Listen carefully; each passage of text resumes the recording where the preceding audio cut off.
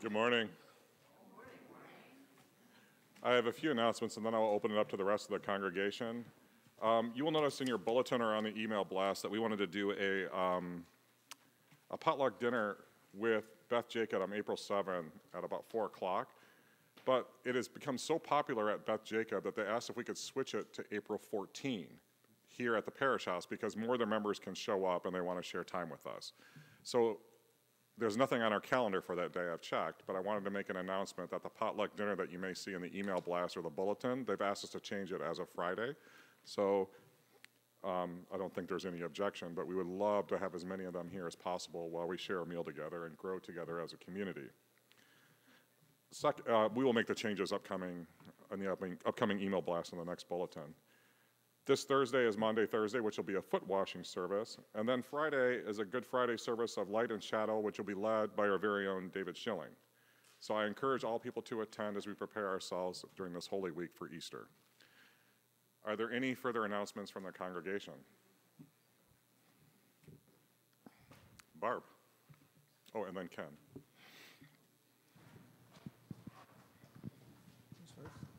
Uh, Barb?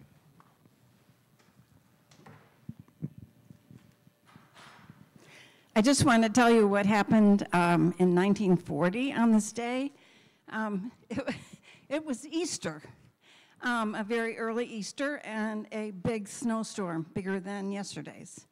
And um, there was a family in Highgate, Vermont, that was expecting a new arrival. Um, and they called the doctor, and he was able to get to their house um, in the evening. And after midnight, the baby was born, and they named him Alan.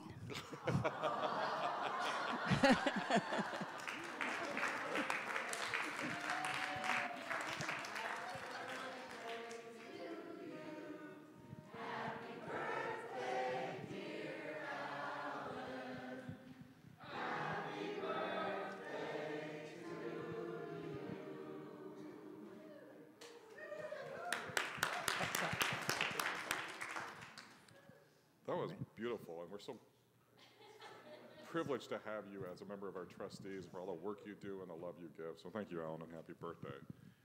Ken, you had an announcement?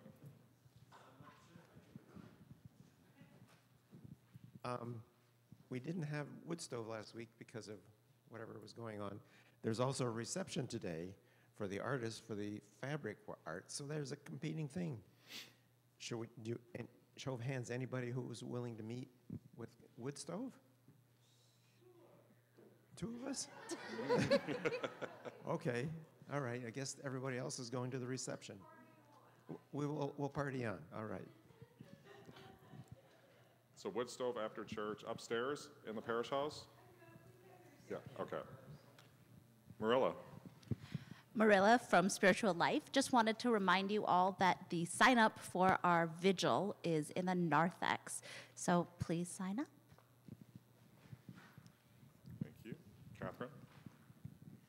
Um, this is a call for help next week. I'm doing coffee hour. It's Easter, and I would love other contributions uh, appearing at the table in the kitchen anytime between 8.30 and 9.30 next week.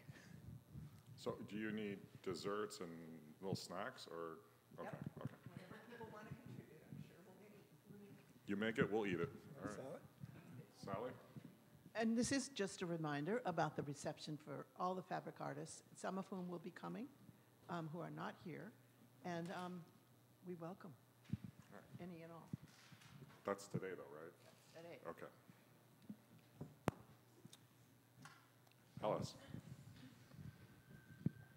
Um, This is spiritual life, I think, uh, as well. Today is the, your last opportunity to uh, participate in the Lilies, and I don't see any um, papers out for it, but if you let Marilla or me know afterwards, that we can write it down and see that it gets in the bulletin. Pink slips are right There here. are on- Yeah, they're just not inside the bulletin. Okay, so there's pink slips there if you want to participate in that. Tim? Uh, The final PINS announcement today is the day that um, I need to have the gift cards for those of you who have forgotten, which of course happens, um, go outside the box here, and there's various ways you can still get uh, a donation to me. You could write a check out to me, and I will cash it and then get a gift card myself. I'm already doing that, so it's not at all an inconvenience. Um, you just hand it to me today um, at church or leave it in the parish house, and I will pick them up. Or you could bring it to my house, 2 Pinewood Road in Montpelier, but trying to make it easy for you as much as possible. If for some reason you still want to do it in a slate, that's fine. I- We will, I will bring them to DCF tomorrow, but I also will bring them, say, you know, next week or something, if we have any ones that come, that lag. Okay? And thank you all for your uh, support.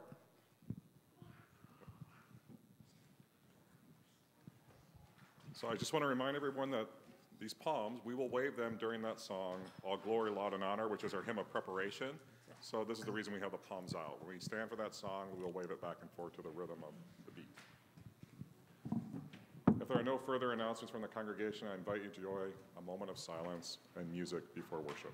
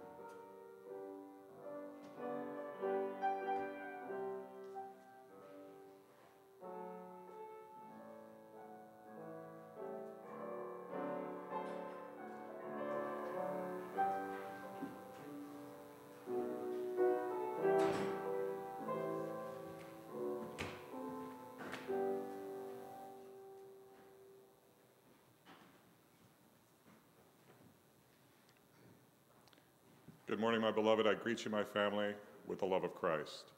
On behalf of our community, I would like to welcome all of you, whether you are here in person or joining us online, to the Old Meeting House. The Old Meeting House is an inclusive community that celebrates your uniqueness and welcomes all into this sacred space. We hope that in the time we share together that you find yourself surrounded in God's loving embrace. We pray that you are open to receive her blessing, and we pray that God's blessing of unconditional love inspires you to unbecome and become the person you're meant to be. I invite you now to enter a moment of silence as we prepare for worship.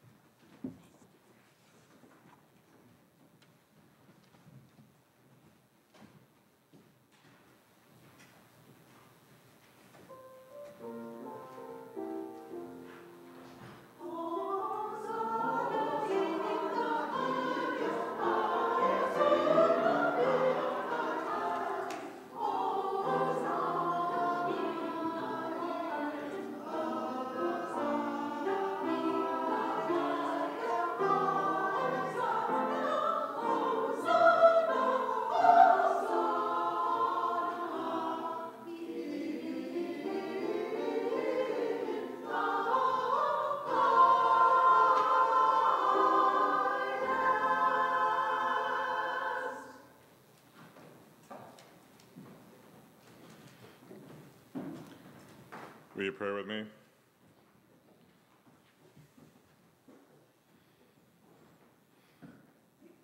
Loving God, take our hands as we continue on our Lenten journey. Breathe love and life into our weary hearts and shine light where there is darkness. Open us and teach us how to be humble, compassionate, discerning along your way. And may your Holy Spirit abide within us as we endeavor to do your work and will in this world. Amen.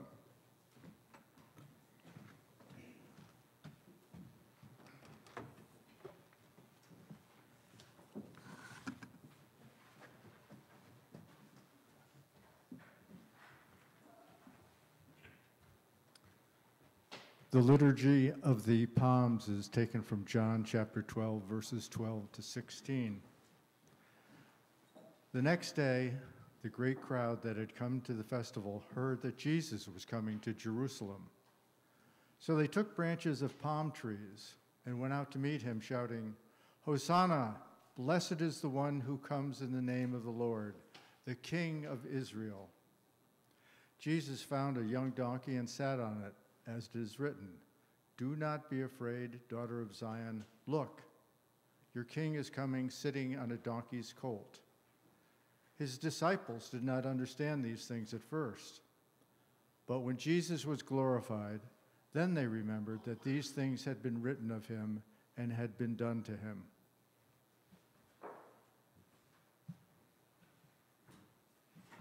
I invite you to open your bulletins and let us read responsibly the blessing of the palms. God be with you. Let us give thanks to the God Most High. Let us pray. God, today we remember that Jesus rode into Jerusalem on a donkey, meek and low. You have shown us the way of humble service, a path to God, and we pray you help us to follow. I invite you now to stand in body or in spirit as we sing our opening hymn, My Song is Love Unknown, number 222.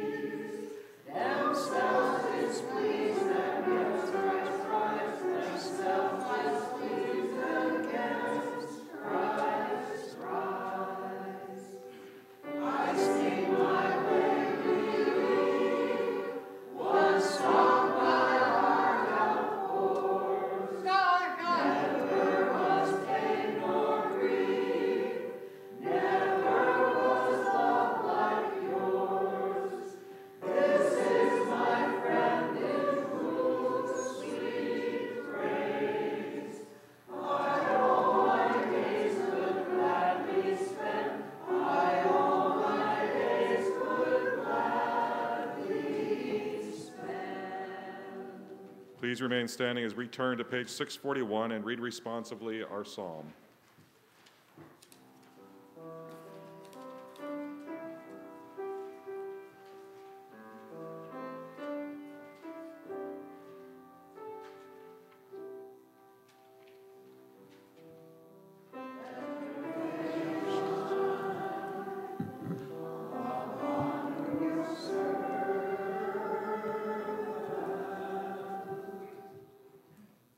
Be gracious to me, O God, for I am in distress. My eye wastes away my grief, my soul and body also.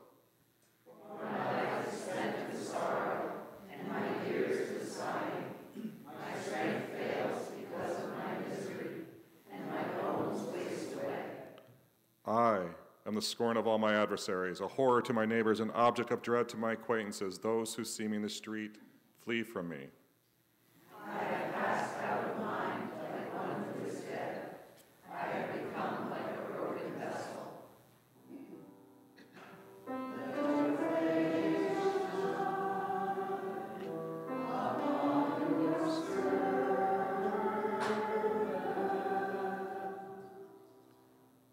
Hear the whispering of many, terror all around, as they scheme together against me, as they plot to take my life.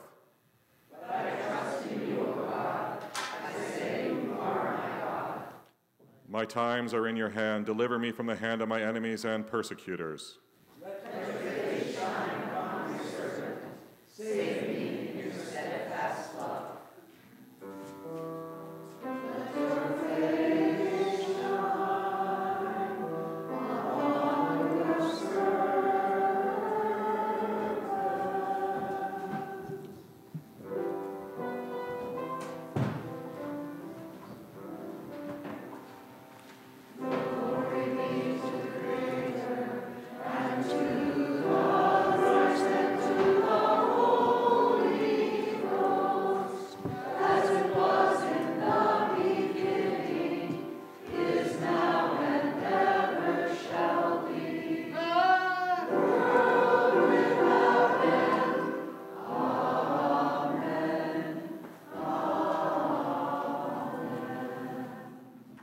Please be seated.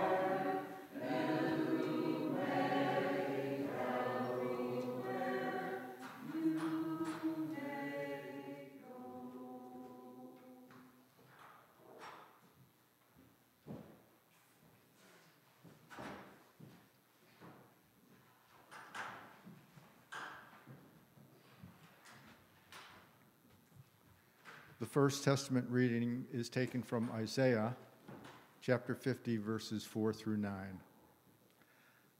The Lord God has given me the tongue of a teacher, that I may know how to sustain the weary with a word.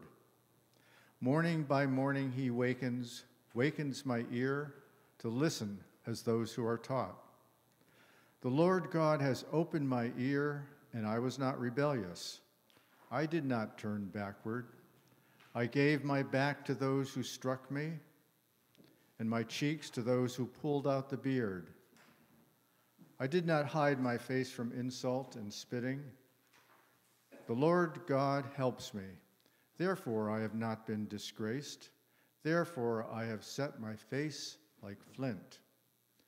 And I know that I shall not be put to shame. He who vindicates me is near. Who will contend with me? Let us stand up together. Who are my adversaries? Let them confront me. It is the Lord God who helps me. Who, who will declare me guilty? So ends the reading.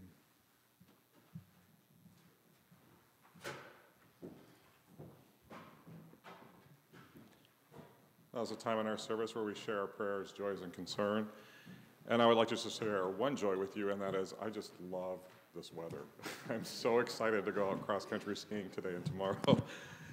I do wish I hadn't changed out my snow tires, though. So. Yeah.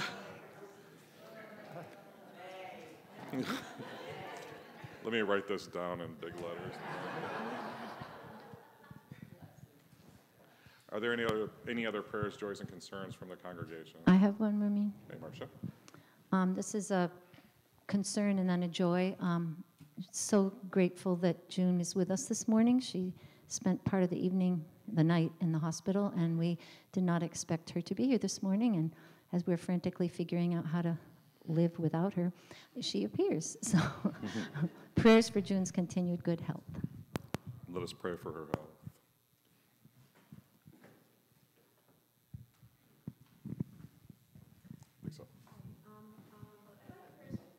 Oh, we need a microphone. Yeah. Testing? Okay.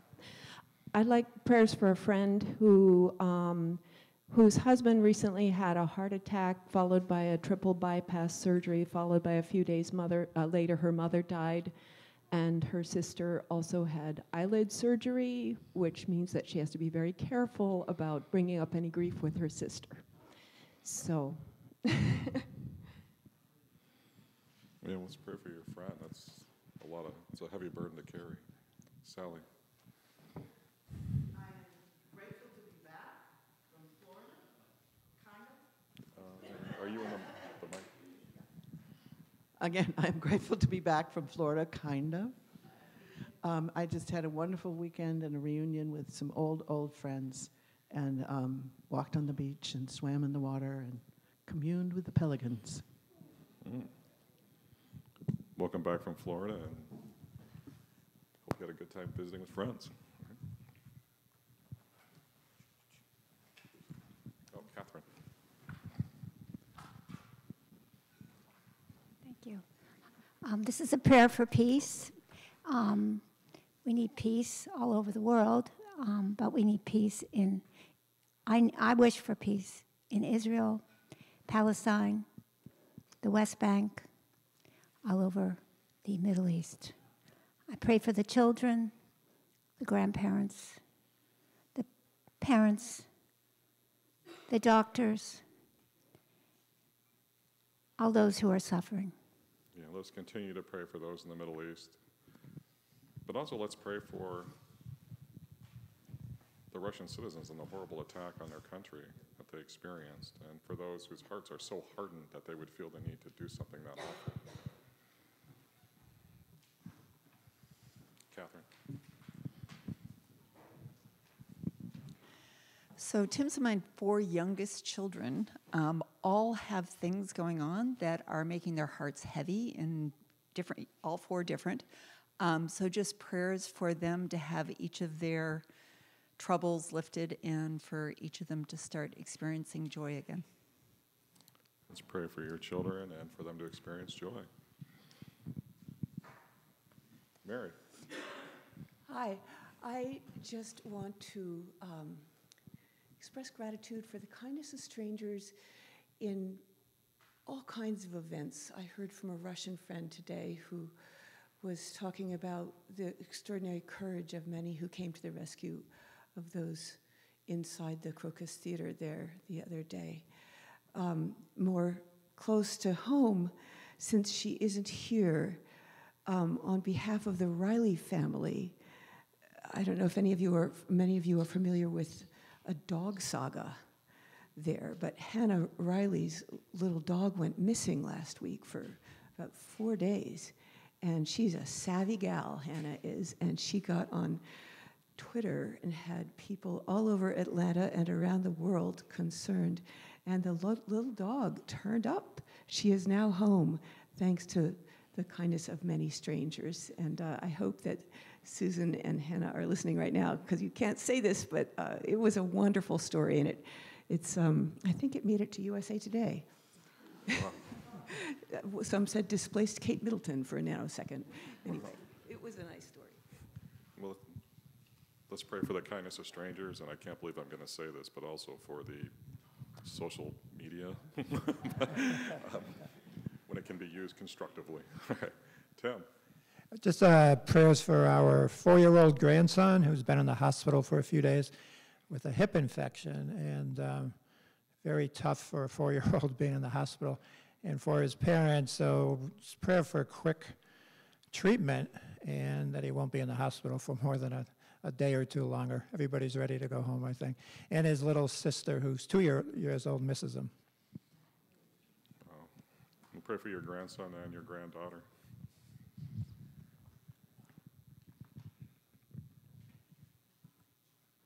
There are no further prayers, joys, and concerns from the congregation, I invite you into a moment of silence before I begin my pastoral prayer.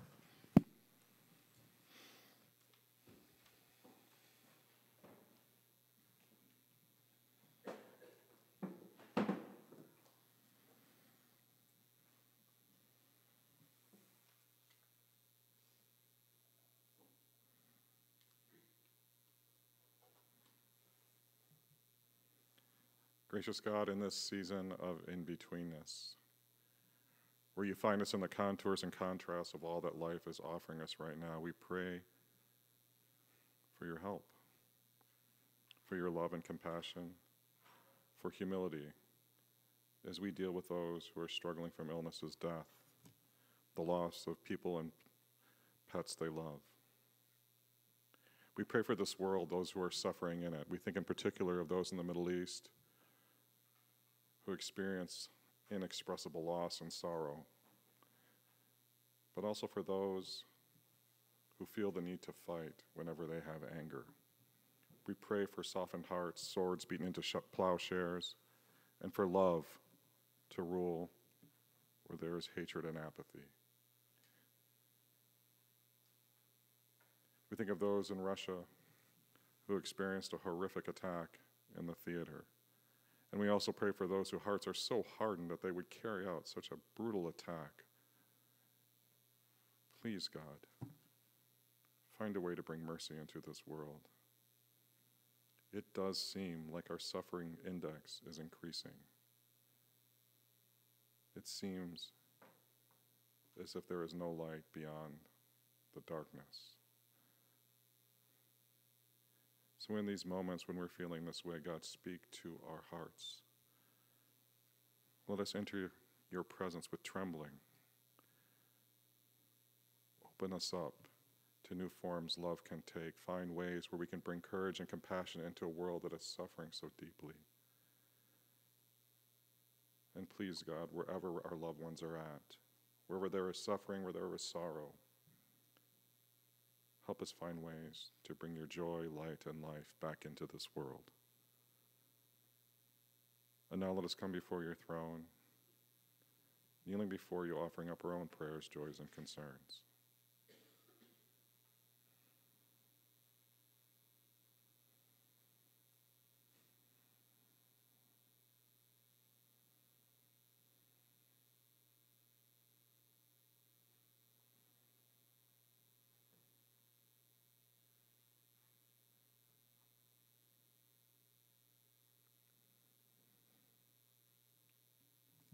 Now let us say together the prayer that Jesus taught us to pray when he said, Our Creator, who art in heaven, hallowed be thy name. Thy kingdom come, thy will be done, on earth as it is in heaven. Give us this day our daily bread, and forgive us our trespasses as we forgive those who trespass against us. And lead us not into temptation, but deliver us from evil. For thine is the kingdom, and the power, and the glory forever. Amen.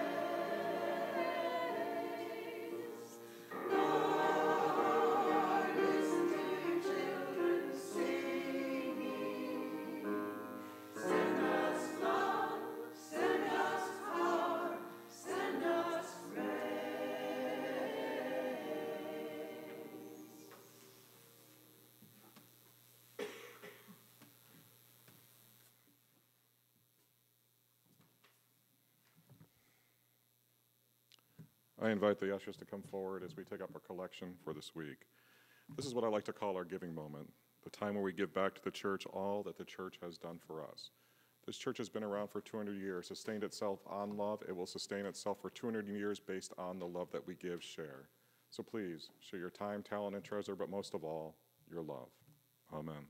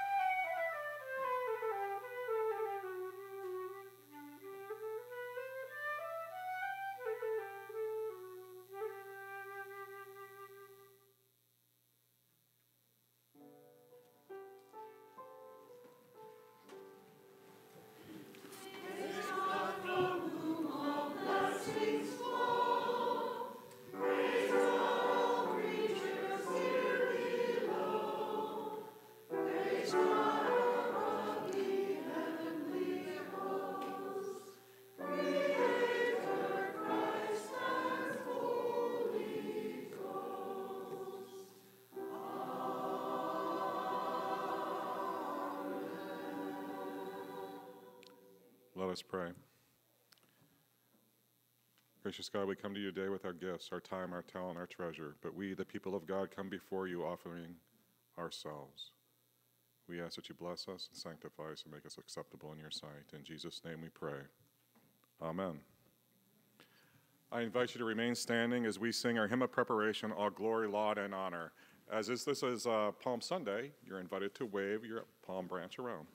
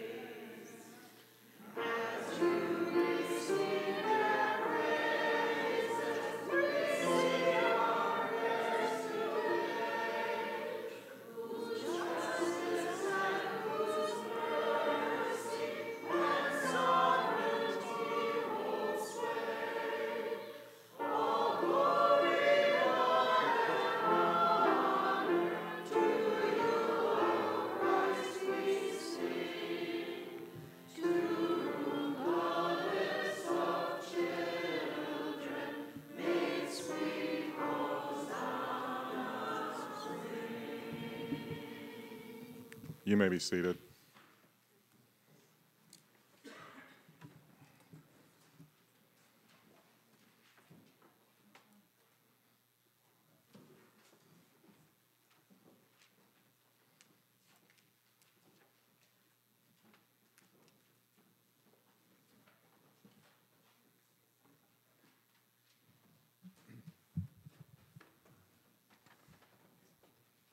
The New Testament liturgy of the Passion is taken from Mark chapter 14, verses 32 to 42.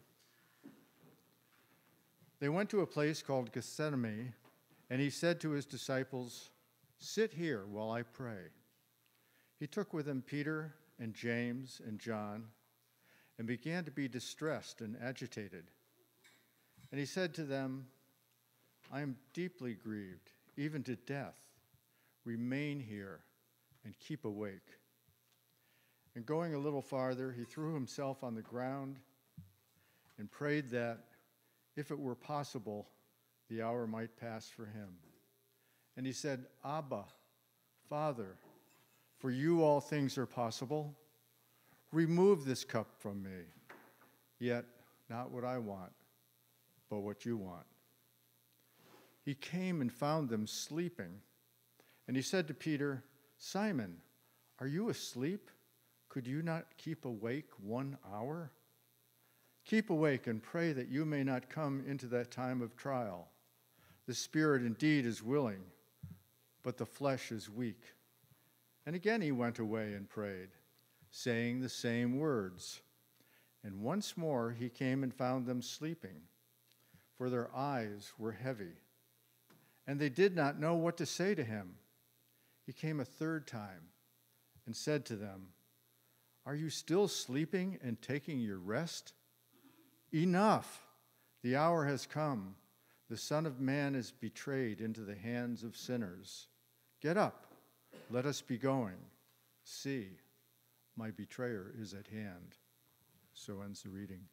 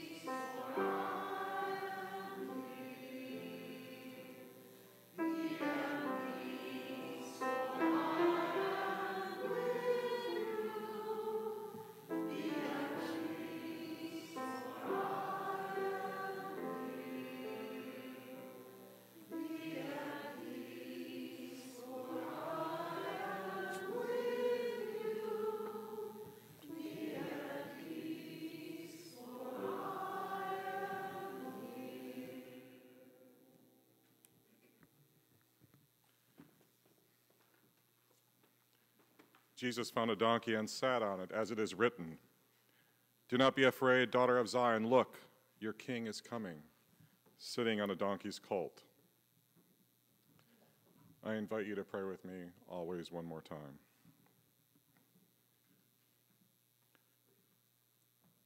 Gracious and everlasting God, may the words of my mouth and the meditations of all our hearts be acceptable in your sight, O Lord, our rock and redeemer. Amen.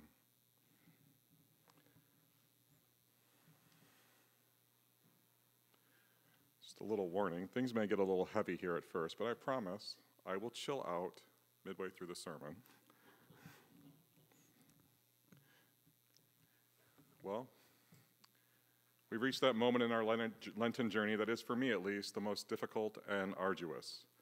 A place located within the disquieted beauty of cheering crowds and the silent procession toward death.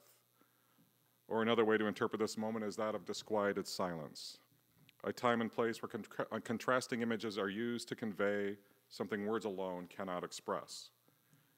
I am referring, of course, to our Palm Sunday and the Passion of Christ, but also to the conflicting realities found in everyday life, such as the bewildering shifts in our weather, immeasurable suffering and despair amid unprecedented gluttony and wretched excess, and the toxic relationship between religion and nationalism spreading in our country and throughout the world. There was something linking these conflicting realities to our text, but I struggled to find the connection between the two.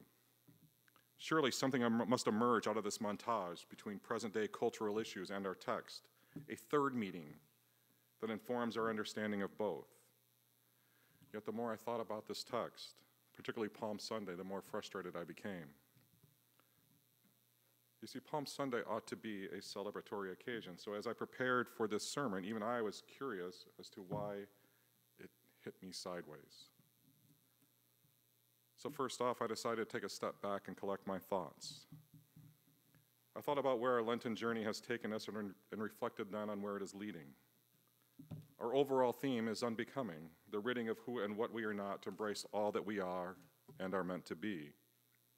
Inherent in this journey is the understanding that Lent entails more than just a religious observation. It is something we are invited to join as we navigate our way through life's contradictions to find light and love where there is despair and death. On further reflect, reflection, I realized that what frustrated me about this text wasn't the text itself, but my lack of appreciation for its subversive and seditious meaning, its clever use of time, space, movement, contradictory images, and John's radical interpretation of prophetic literature to convey an understanding of God that is difficult to understand today as it was when Jesus silently entered Jerusalem on a donkey's colt. Yet there was something else casting a shadow over this text, and it wasn't just my inability to find meaning within its disquieted silence. There is something happening here in the present day that is impeding my understanding of Palm Sunday in its historical context. So the second thing I did was to take some time and examine what that was.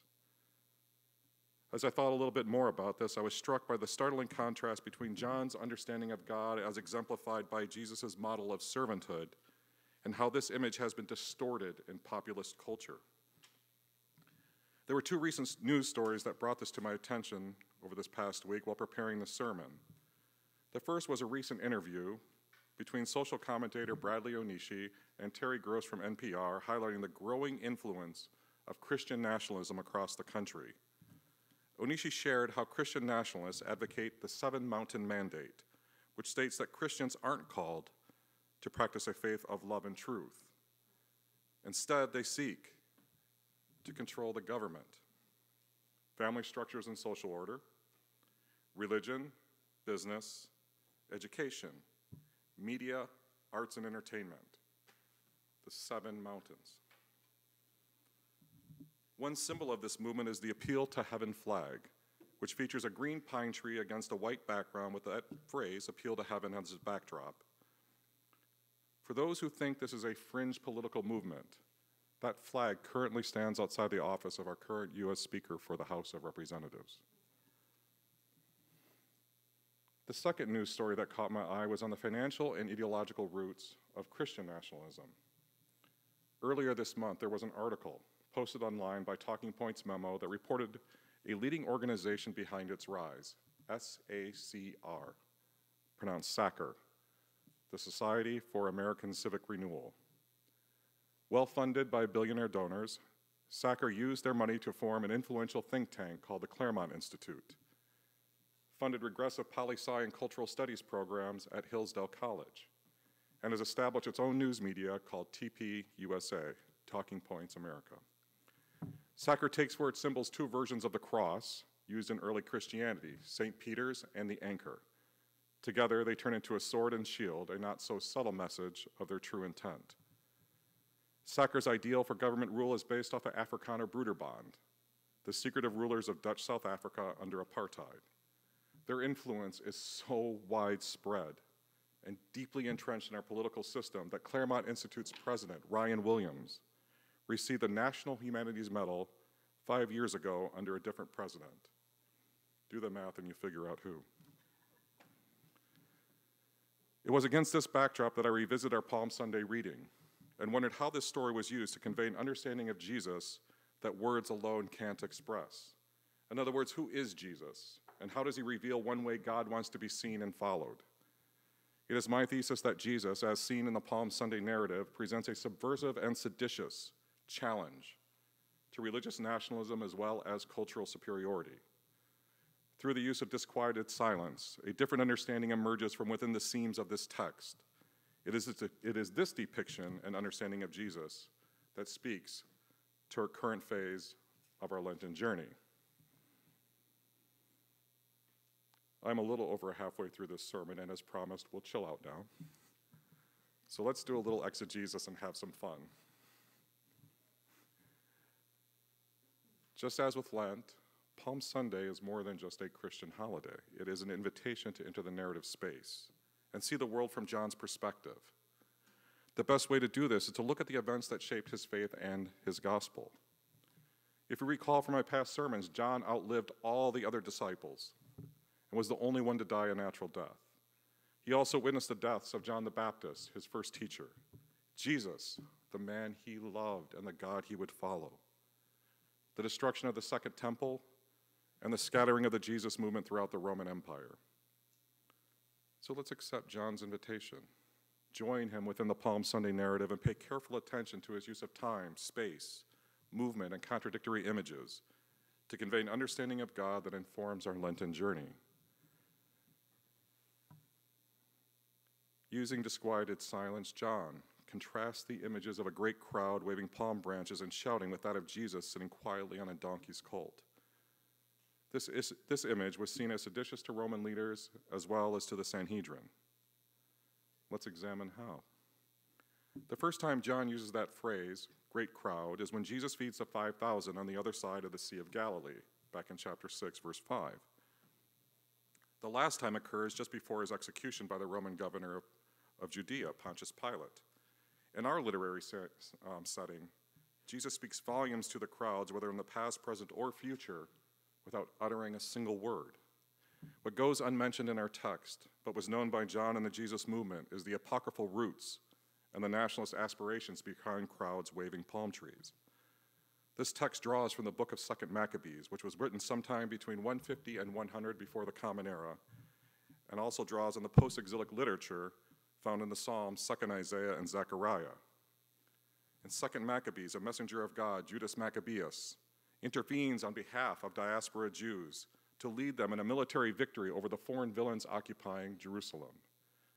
He enters Jerusalem sword in hand, killing foreigners and Jewish blasphemers. He was met with music, dancing, and palm leaves by his followers. In post exilic literature, the Messiah rides into Jerusalem on a donkey's colt. Both texts imply their Messiah was a member of the priestly class and a military leader. Jesus, however, without a cross, sword, or shield, rides a donkey's colt into Jerusalem and then allows himself to be arrested without a fight. For those who wanted their leader to be a nationalist warrior and a religious zealot, exemplified by Judas Maccabeus and by the prophetic literature, Jesus subverts that model and is depicted instead as a servant a servant of God offering eternal life to all who seek light and love where there is darkness and despair. At the same time, John is sending a seditious message to Pontius Pilate, King Herod of Galilee, Tiberius Caesar in Rome, as well as all who would misappropriate this text in the future. The ultimate identification of God with humankind isn't that of a military, autocratic, or authoritarian ruler. True leadership means identifying with those who exist on the underside of history, addressing the suffering human condition, meeting their unmet needs, and uniting in common cause with all who strive to make the world a better, more inclusive, compassionate, and egalitarian place. Instead of ruling over people, John repeatedly emphasizes the servant model of discipleship. Jesus serves God by humbly serving humankind. From Tiberius to Pilate, the Jesus movement, with its notion of radical love, inclusivity, equality, threatened the stability of an empire that was held together by military power, economic might, and strict social and religious divisions. Jesus' procession into Jerusalem was a seditious act, and that's exactly how it was interpreted by the Roman Empire. I'd like to close my sermon on this note.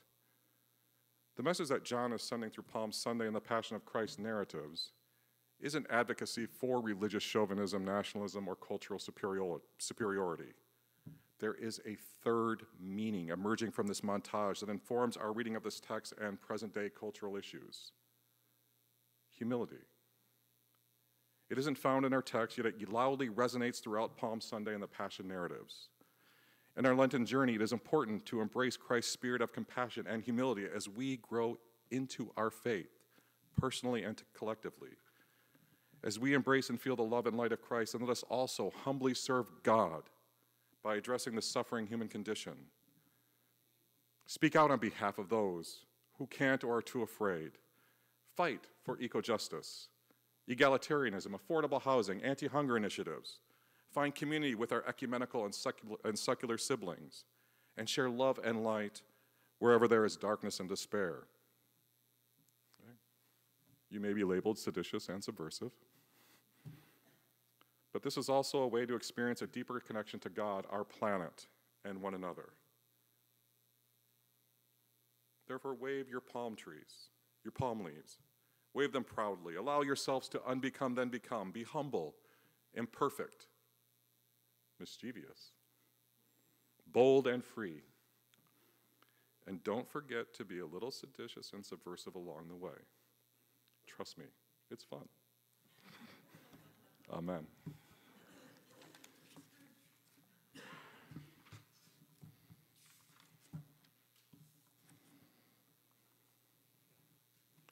Let's enter into a moment of silence before we stand and sing our final hymn.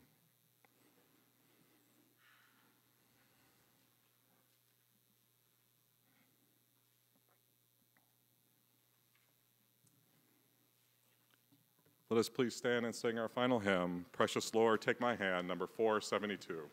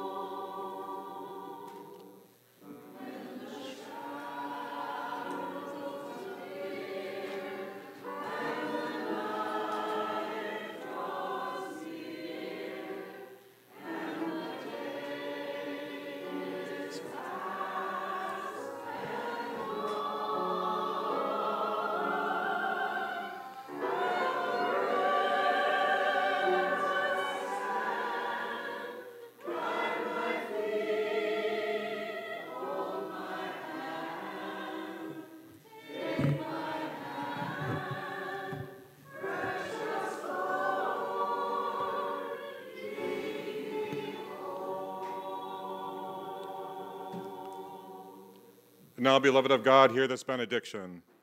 May you find Christ in the low places, where people are afraid, unfed, lost, and need shelter. May you meet Christ in a spirit of compassion and humility, with those who live without love, the abandoned, the forgotten. Sorry. I have no control when it hits me. and may Christ's light shine within your heart as we walk together to the promised land. Amen.